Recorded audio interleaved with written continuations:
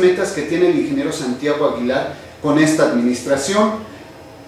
¿Cuáles son las metas de Santiago Aguilar? Bueno, dentro de lo que hemos logrado a lo largo de algunos meses en esta administración del sistema de agua potable ha sido tal vez hacer la gestoría de lo que pudiera servirnos para eh, a corto plazo poder llegar a tener un, mejor puerto escondido. Eh, hemos logrado consolidar cuatro plantas de tratamiento. Mi sueño es revertirle las condiciones de saneamiento a Puerto Escondido, hacerlo limpio como yo lo conocí hace muchos años en materia de aguas residuales. Ese es mi ideal, ese es mi sueño, es mi meta. Eh, estamos trabajando por una quinta planta más, que puede ser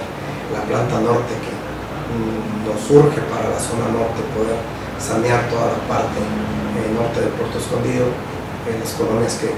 tienen mayor población tal vez en este momento, pero que no cuentan con el servicio de drenaje, que tengamos la oportunidad de darles ese servicio y de alguna manera pues, proteger el subsuelo. Eh, esa sería prácticamente eh, una de las metas que tengo a corto plazo, es consolidar esos proyectos,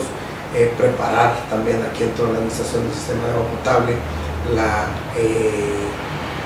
el crecimiento futuro que vamos a tener en cuanto la apertura de la nueva carretera, pues necesitamos tener planeadas más redes de agua potable, estamos solicitando desde este momento ampliaciones de líneas, nuevas líneas de conducción,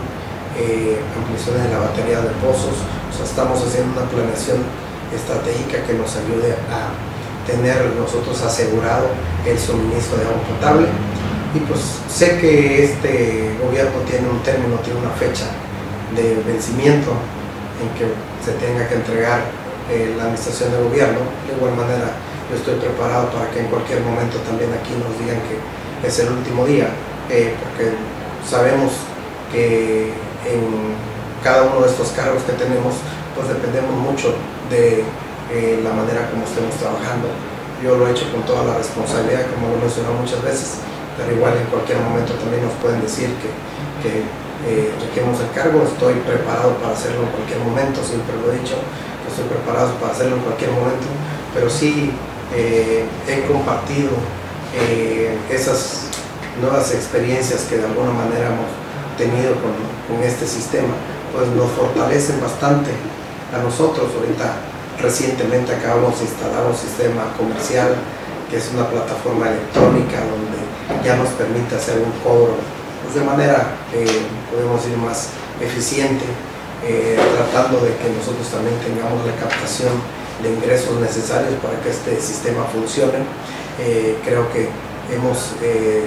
mejorado el servicio de agua potable el suministro lo estamos haciendo de manera más frecuente, estamos tratando de reducir el número de fugas, tratando de reducir costos y muchas cosas que nos permitan hacer un sistema más sólido financieramente. También el sistema comercial nuevo que ya tenemos operando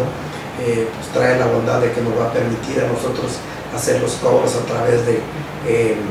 otros centros de, de cobro que pudieran ser los centros comerciales, diferentes cadenas comerciales que ya tenemos en Puerto Escondido,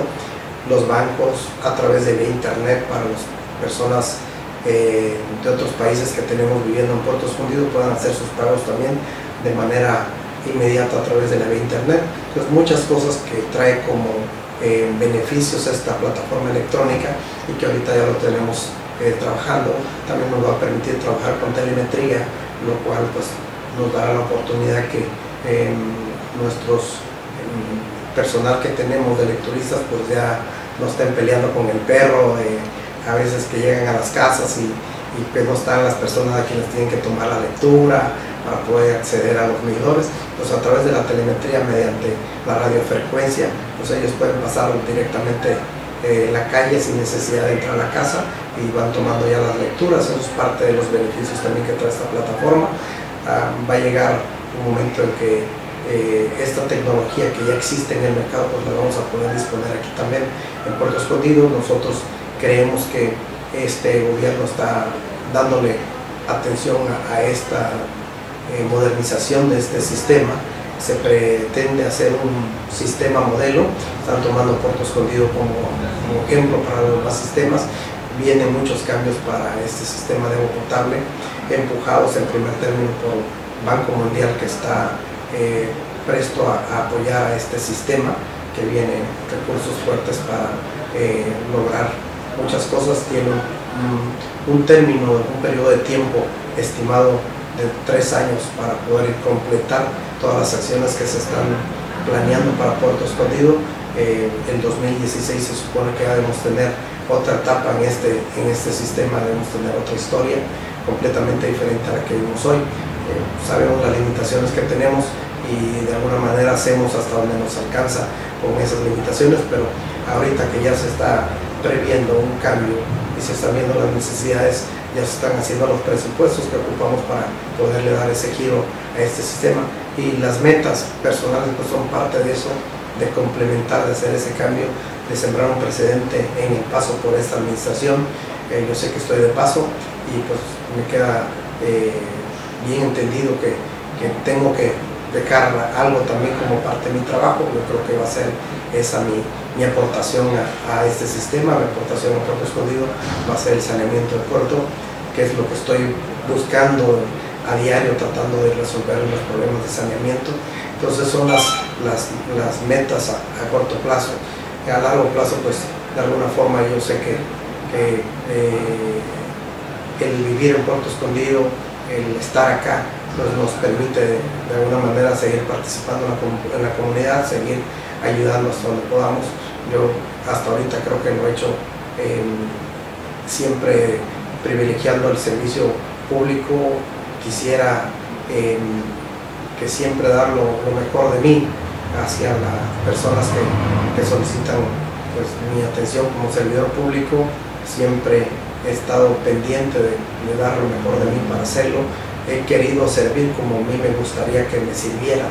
En algún momento cuando yo estuve en iniciativa privada, pues siempre pensé que en el momento que me tocara a mí servir, lo iba a hacer de esa manera, servir como a mí me gustaría que me sirviera. Bien, ingeniero, yo le agradezco mucho su tiempo. Este es el programa en corto donde ustedes conocerán a sus funcionarios.